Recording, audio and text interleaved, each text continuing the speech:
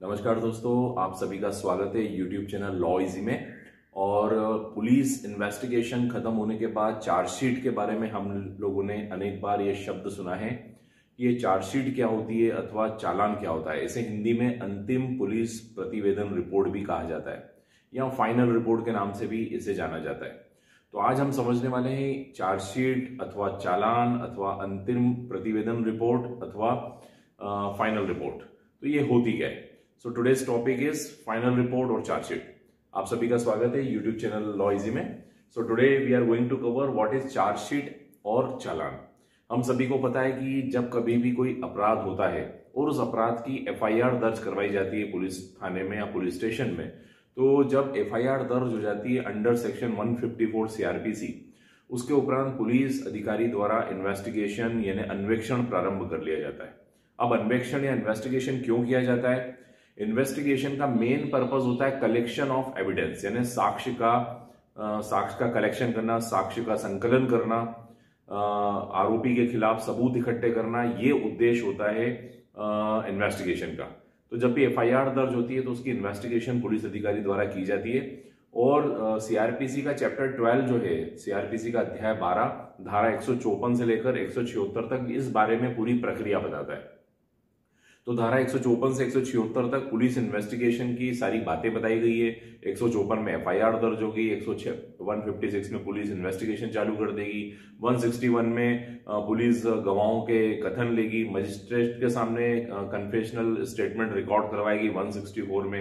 ऐसे पुलिस के विभिन्न जो प्रक्रिया है अन्वेक्षण की जो प्रक्रिया है, वो बताई जाती है। और 173 में, यानी धारा एक सौ तिहत्तर में, जब पुलिस पूरी इन्वेस्टिगेशन पूरी कर लेती है तो इसी स्थिति में पुलिस द्वारा की गई इन्वेस्टिगेशन को जब मजिस्ट्रेट के सामने प्रस्तुत किया जाता है, उसी को ही चार्जशीट अथवा चालान कहा जाता है। तो एफआईआर दर्ज होने के बाद पुलिस इन्वेस्टिगेशन जब खत्म होती है तो उसकी एंड रिपोर्ट होती है। एंड रिपोर्ट मतलब समाप्ति की जो रिपोर्ट होती है, उसी को ही चार्जशीट कहा जाता है, उसी को ही चालान कहा जा सकता है। अब इन्वेस्टिगेशन में दो बातें हो सकती है।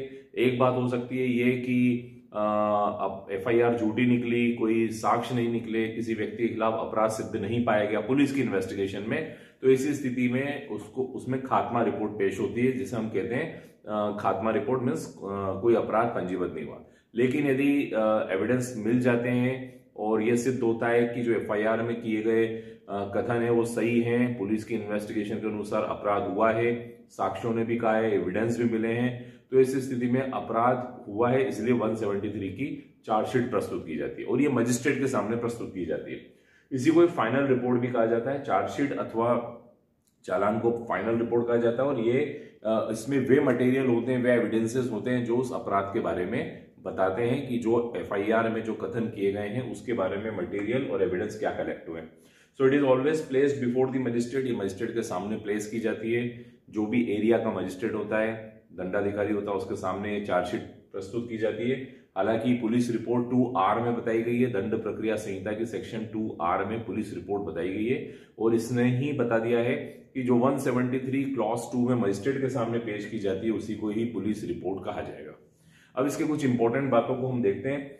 सबसे पहले तो ये फाइनल रिपोर्ट किस प्रारूप में दी जाएगी? यानी ये जो चार्जशीट है वो किस प्रारूप में दी जाएगी? ये राज्य सरकार द्वारा तय किया जाता है, क्योंकि हम सभी को पता है, ये जो आपराधिक विधि जो होती है, ये राज्य सरकार का मुद्दा है और कॉन्करेंट लिस्ट में भी आता है। तो सेक्शन 173 क्लॉस टू में स्टेट गवर्नमेंट द्वारा निर्धारित किए गए प्रारूप में चालान प्रस्तुत हो जाता है। अब चालान में क्या क्या बातें शामिल होती है? Name of the parties parties का मतलब जिस व्यक्ति ने एफआईआर दर्ज कराई, उसका उसका नाम, उसका विवरण, जिसके विरुद्ध दर्ज कराई, उसका नाम, उसका विवरण nature of the information information कैसे प्राप्त हुई? कई बार अननोन इंफॉर्मेशन अननोन सोर्सेज से भी आती है इंफॉर्मेशन तो ऐसी स्थिति में जिस भी पुलिस अधिकारी द्वारा लेखबद्ध की गई है, वही इंफॉर्मेंट हो जाता है मुखबिर से उसे प्राप्त हुई सूचना। तो नेचर ऑफ़ इंफॉर्मेशन लिखी जाती है अक्यूज की डिटेल लिखी जाती है अक्यूज ने आरोपी की क्या डिटेल है वो लिखी जाती है। ऑफेंस यानी अपराध कौन से अपराध के बारे में और किस ढंग से किया गया क्या मेनर था अपराध करने का ये बातें भी आ, उसमें चार्जशीट के अंदर बताई जाती है। एमएलसी यदि मेडिको लीगल रिपोर्ट की गई है मेडिकल रिपोर्ट कैसे मतलब मेडिकल यदि मेडिकल हुआ है तो फिर ऐसी स्थिति में एमएलसी भी लगाई जाती है।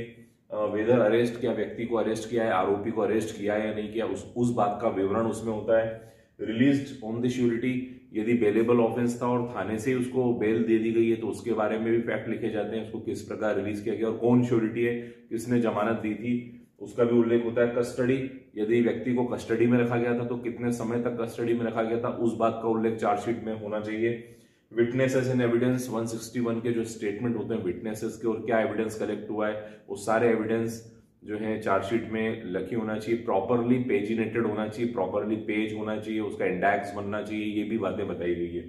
साथ ही साथ फॉरेंसिक रिपोर्ट कई जगहों पर अपराध में फॉरेंसिक रिपोर्ट की ज़रूरत होती है, जैसे हैंड राइटिंग एक्सपर्ट की ज़रूरत होती है तो उन फॉरेंसिक रिपोर्ट्स को भी उसमें लगाई जाती है। कई बार अगर गन का इस्तेमाल हुआ है रिवॉल्वर का इस्तेमाल हुआ है तो बैलिस्टिक रिपोर्ट होती है तो ये सब बातें चार्जशीट में होनी चाहिए।